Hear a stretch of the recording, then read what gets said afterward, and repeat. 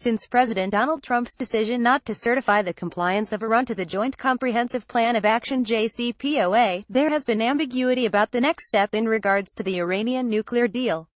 The ball is in the U.S. Congress court right now, and in the next 50-plus days, Congress will try to make a decision about the fate of the agreement.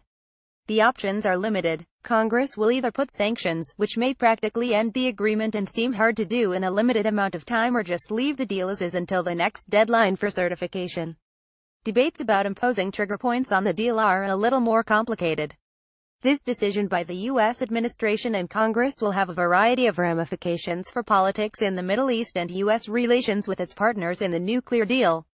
Remember that actions of the U.S. administration will be judged with U.S. actions and inactions that have taken place in recent years in the Middle East.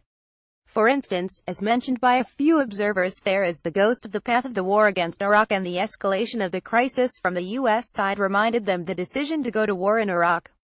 They emphasize the same distrust of the international agencies, such as the International Atomic Energy Agency IAEA, the same form of unilateralism is easy to observe in U.S. foreign policy.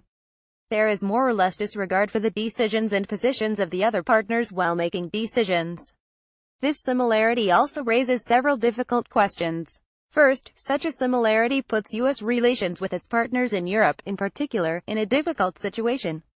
The rift that took place between Germany and France with the U.S. was particularly significant before the Iraq War. After President Trump's statement, the members of the P5 made a statement underlining their commitment to the agreement. They emphasized IAEA reports about Iranian compliance to the nuclear deal. So transatlantic relations will be at stake at this critical juncture. Of course, countries like Russia will also be ready to exploit such a rift between the US and Europe. Considering the economic gains of European, Russian and Chinese companies, it will be hard to implement sanctions, even if they are passed by Congress. Second, the regional ramification of this similarity is important to understand. Most countries in the region do not have any appetite for another lengthy, costly conflict along their borders, which can result in an export of insecurities, another refugee influx and instability in the region. However there are countries such as Saudi Arabia, and to a lesser extent Gulf countries, that see this as an opportunity to destroy their most formal rival Iran and this policy can mobilize these countries with a more assertive agenda against Iran to be more proactive.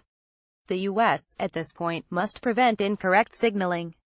Their action could be misinterpreted as a green light for regional escalation. Third, it is important to understand and work on regarding other activities of Iran in the region. President Trump, in his speech, did not just talk about Iran's nuclear program, but he also underlined threats posed by Iran to the region, including Iranian proxies in countries such as Syria and Lebanon and the existence of ballistic missile program in Iran. For years now, what has bothered many countries in the region the most about Iran was its assertiveness and aggressiveness in these different conflict areas. Thus, the expectation of the U.S. administration is to find a way to curb the activity of Iran in the region in conjunction with regional actors. It is important to understand the current state of relations, threats from the U.S. and the latest decision about the decertification, which will cause stress and tension in Iranian foreign policy making. So far, Iran has taken advantage of the agreement however, internal dynamics in the country will be particularly important to understand Iran's position about decertification. Any externalization of this domestic reaction could lead to escalation in the region that will be hard to control or manage.